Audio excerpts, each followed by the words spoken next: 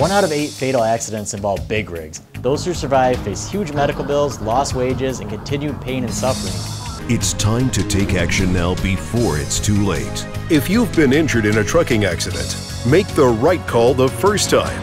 Justin Grove at Grove and Associates Law Firm.